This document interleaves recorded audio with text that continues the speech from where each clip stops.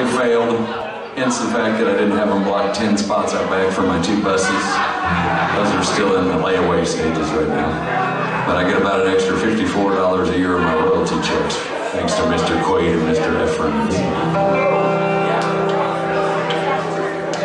Oh, I'll take